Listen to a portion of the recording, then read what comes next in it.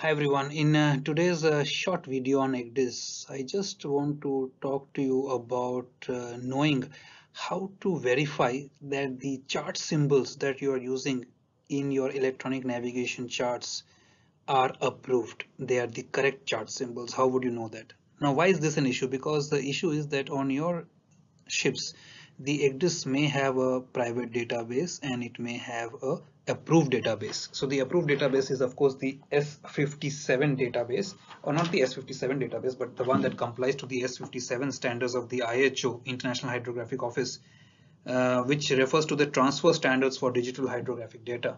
But you may also have some private databases uh, just like we have here a private database which we use for teaching because we get charts for cheap um, which we can use otherwise charts are pretty expensive.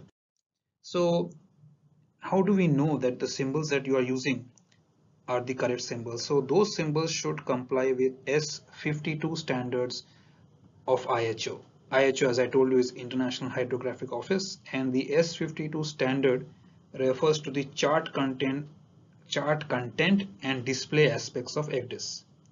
So S52, S57, these standards, there are some more standards like these. They cover the chart, what should be seen and in what color, how the data should be encrypted for transfer, what symbols should be used, and what a raster chart should look like, etc. etc. So that is how you find out. So now I will go into the ECDIS system and I'll show you how you can verify that uh, you are using the correct database.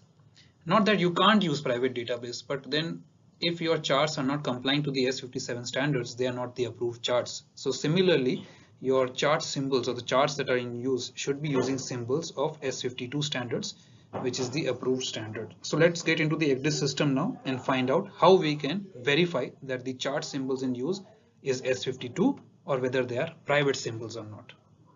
So guys, you can see here that if we go into the ECDIS, we can find out whether our electronic navigation charts are using the chart symbols complying with the S52 standards, the standards, the IHO standards for the chart content and display aspects of ECDIS.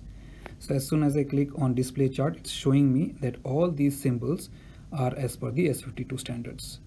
So how do you find out whether these symbols are as per the S52 standards or not?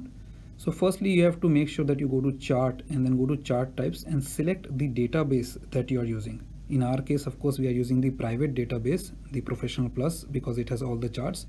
You could see as soon as I clicked on the S57 database, uh, there are hardly any charts available because they are more expensive and here we are only using it for teaching purpose. On your ship, you must comply as per the S57 standards of electronic navigation charts.